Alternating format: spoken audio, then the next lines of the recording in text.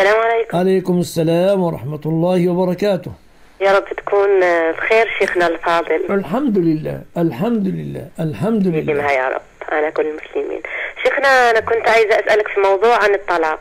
أنا طلقت مع زوجي المرة الأولى طلقة عن ال- بالأوراق يعني موثوقة وكل شيء.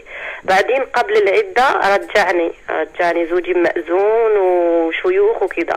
المرة الثانية كان زعلان غاضب وطلقني ثلاث طلقات في موضع واحد. قال لي مطلقة مطلقة مطلقة ثلاث خطرات.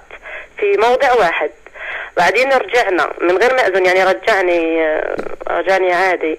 بعدين يا شيخنا أنا كنت عزك الله كنت حائض. في التليفون كنا تشاجرنا هاتفيا. وقال لي مطلقة مطلقة. قلت له طلقني؟ قال لي مطلقة مطلقة.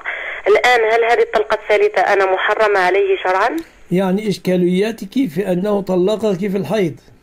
في الحيض اي الطلاق واقع ولا تحلي له من بعد حتى تنكحي زوجا غيره بنية استدامة المعاشرة. فإن قدر وطلقك الثاني بعد الجماع حللت للأول بعد انقضاء عدتك.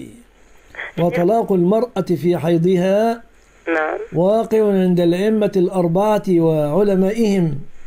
المالكية والأحناف قبلهم والشافعية بعدهم والحنابلة بعد كذلك.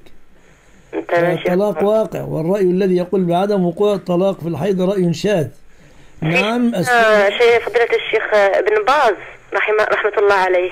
يا أختي قلت لك الأئمة الأربعة على ما ذكرته لك وعلماؤهم ورأي ابن تيمية رأي شاذ في هذا. نعم إذا طلق في الحيض يأثم لكن الطلاق واقع.